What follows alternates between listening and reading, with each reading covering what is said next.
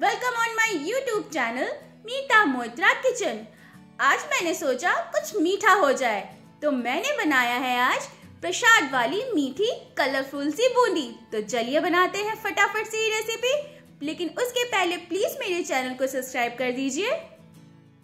बूंदी के लिए सबसे पहले बनाएँगे हम चीनी का शीरा। इसके लिए मैंने दो कटोरी चीनी लिया है, जिसमें मैं एक कटोरी पानी मिलाऊँगी और शीरा बनाऊँगी। बनाऊँगी बूंदी का बैटर। इसके लिए मैंने दो कटोरी बेसन लिया है। अब मैं इसमें थोड़ा थोड़ा पानी डालूँगी और इसका एक थिक सा बैटर बनाएँगे। पानी आप थोड़ा थोड़ा करके डालें, एक साथ ना डालें। अच्छे से इसको हम फेटेंगे ताकि इसमें कोई भी दाना ना रहे। देखिए ये बैटर कितना स्मूथ सा बना है, इसमें कोई भी लम्स नहीं है। इसकी थिकनेस बिल्कुल ऐसी ही रहेगी, ना ज़्यादा गाढ़ी और ना ज़्यादा पतली। तो बैटर हमारा तैयार है।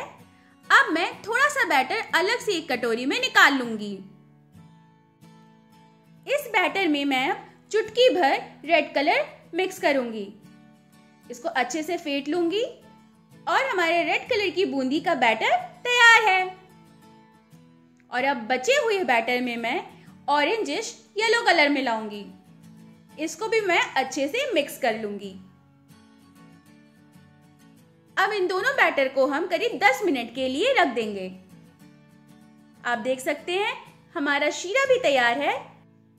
ये हाथ में चिपक रहा है, इसका मतलब ये परफेक्ट है। अब मैं इसमें तीन से चार बूंद गुलाब जल के मिक्स करूँगी। आप चाहे तो इलायची या फिर केवड़ा वाटर यूज़ कर सकते हैं। बूंदी बनाने के लिए घी को मैंने यहाँ गरम कर लिया है। अब मैं एक छन्नी लूँगी और उसमें इस बैटर को डालूँगी।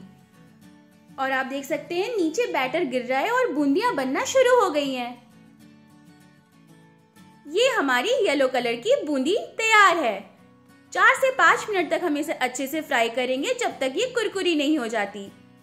अब मैं इसको चीनी के शीरे में डाल दूँगी। पाँच से छह मिनट तक हम इसको शीरे में रखेंगे और फिर निकाल लेंगे। अब हम रेड कलर की बूंदी बनाएँगे। आप चाहे तो घी की जगह तेल भी यूज़ कर सकते हैं, या फिर दोनों मिक्स करके। देखा, बूंदी बनाना कितना आसान है। इसको भी हम अच्छे से फ्राई करेंगे पाँच से छह मिनट तक, उसके बाद शीरे में डाल देंगे। बूंदी हमारी सारी तैयार है तो आप भी मुँह मीठा करें और इस वीडियो को लाइक और शेयर करें। और हाँ मुझे सब्सक्राइब करना मत भूलिएगा।